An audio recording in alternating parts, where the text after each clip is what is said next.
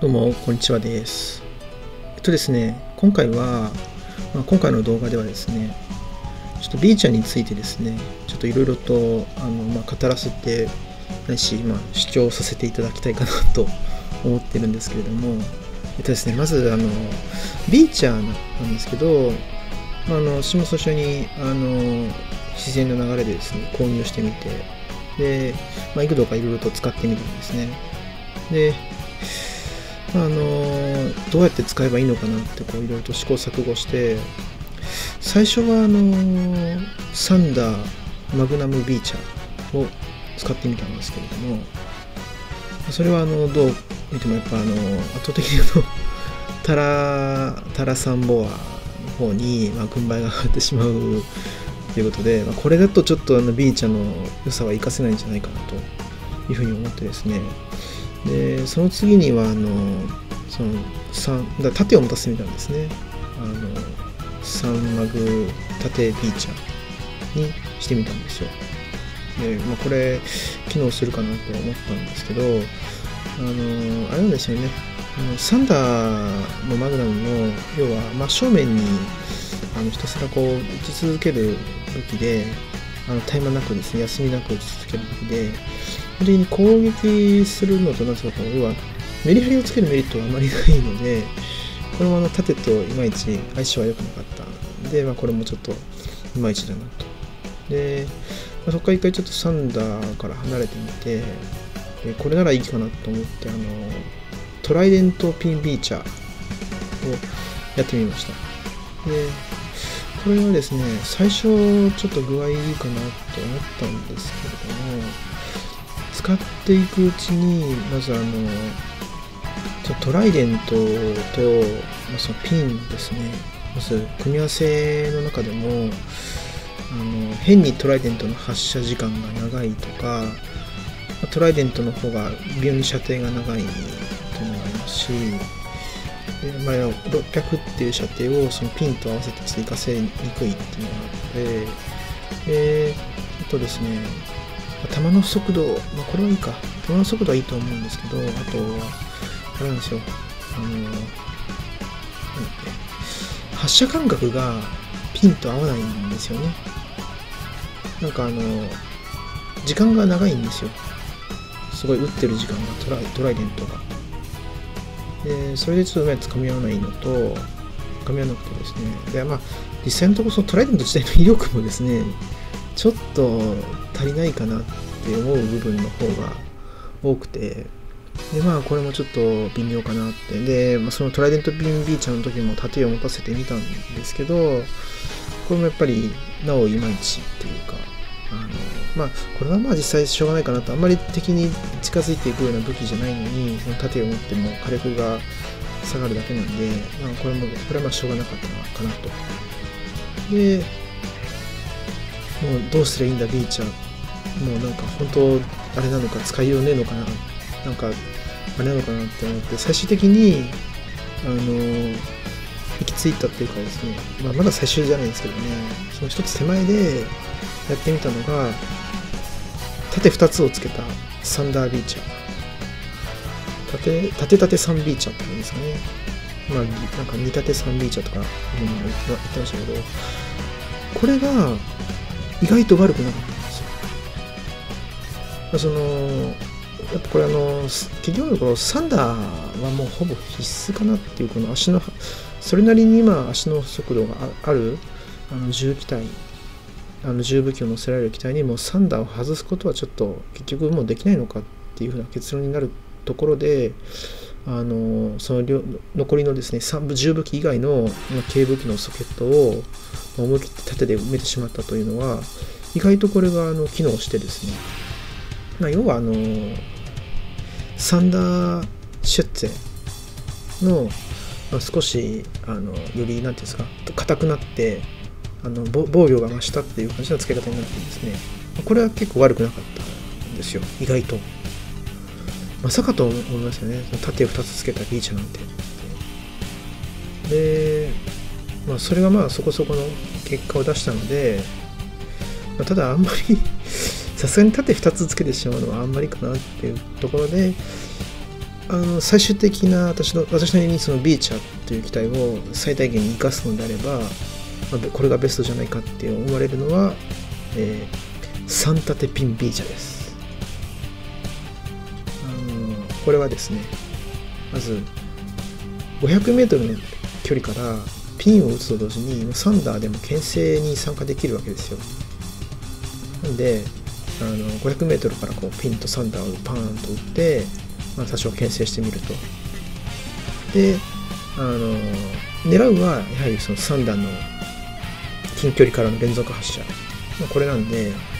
盾を使っ、盾を振って、あの、まあ、敵の攻撃を避けながら、狙いの敵に対して距離を詰めるないし、あの、うまく立ち回って、あの、敵に近づくと。まあ、そういったことをやることによって、あの、最終的にこの、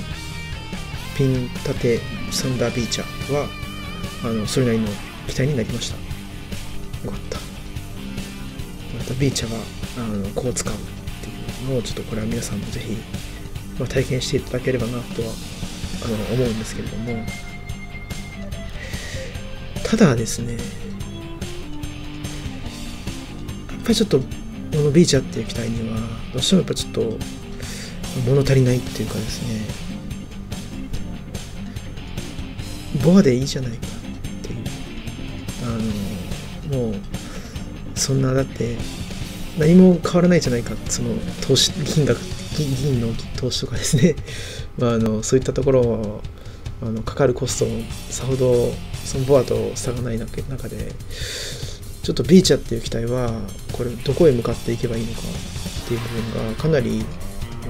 ですかね、ま、不明瞭というかですねちょっと先がどうなっていくのかなっていう部分非常に、まあ、不安じゃないかなと思うんですよ。これからいろいろなあの展開化していくにあたってですね。であのまあまずですね、まあ、さっきずっとお話がずっとあのボアボアって言ってるんですけど別にそのボアが強すぎるってわけでは全くないと思うんですよね。あのボアは完全にあのあれですよ。なんですかもうコイキングみたいなポジションですよ。コイキングからあのギャラドスに進化するタイプ。いわゆるその大気晩成機体。こういったポジションの機体としてもうなんていうか絶対そこにいなければ鎮座していなければいけない機体だと思うんでもうボアのポジションは絶対に変化することはないと。もうボアはもうあのアンタッチャブル。もう絶対にいじっちゃいけない機体だと思うんですよ。でだから別にボアの方を弱体化してほしいわけではなくてリーチャーの方をもう少しなんとかやらないだろうかというところでですね、あのまあこれで前半部分はその、まあ、ビーチャーをこんな風に使ってみましょうという話をさせていただいたんですけれども、あの残りの部分でですね、ビーチャーをちょっとこんな風にあの強化してほしいなっていうのをちょっと語らせていただきたいと思います。でまず、一つ目の案なんですけれども、のビーチャのその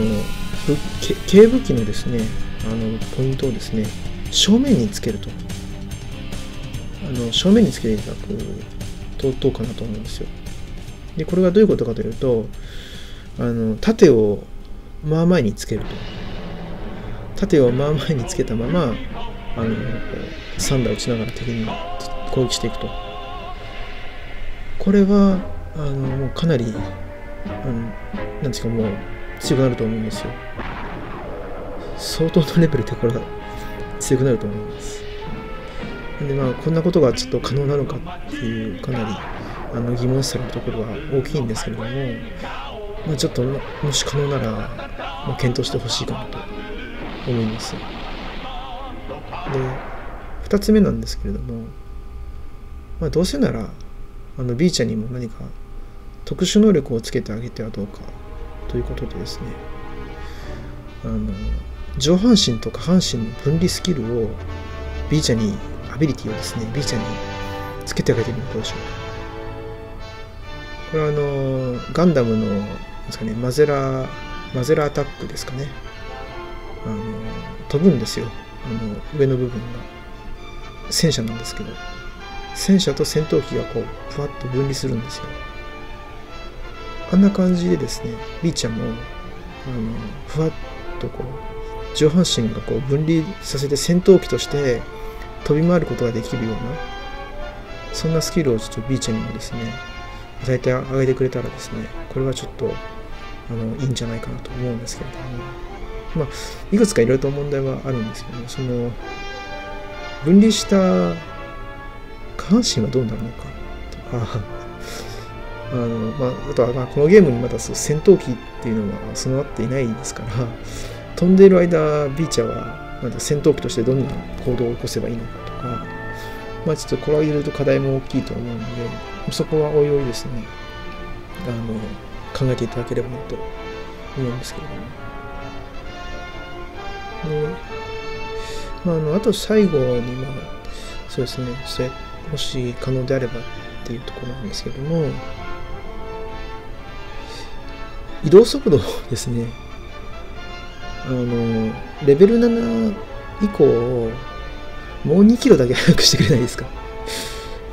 要はボアが42キロでビーチが41キロであの最終的にまあボアに抜かれちゃうわけですよ。で、まあ、ここは何ていうんですかやっぱあの私のビーチャーは速い機体であってくれたらちょっといいなと思うんで走行でボアに負けちゃうのはしょうがないんですけどせめてせめて速さであのなんですかね勝っていてほしいというところで移動速度を2キロ上げることをあの検討してみてください。まあそうですね、7分になりましたけど、要は、まあそうですね、今後の展開、あの期待の、まあ、ですかね、こういった修正っていうんですかね、まあこういったものがそもそも、まあ、どの程度入ってくるのかっていうのはあれですけれども、まあその中でですね、もし、あの、B ちゃんに手を加えていただけるような機会があればですね、あの、これちょっとご検討いただければなと、まあ、こ思います。ご視聴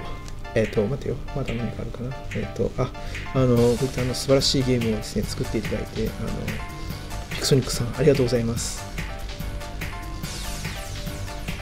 では、えっ、と、動画の方はこちらで終わらせていただきたいと思います。ご視聴ありがとうございました。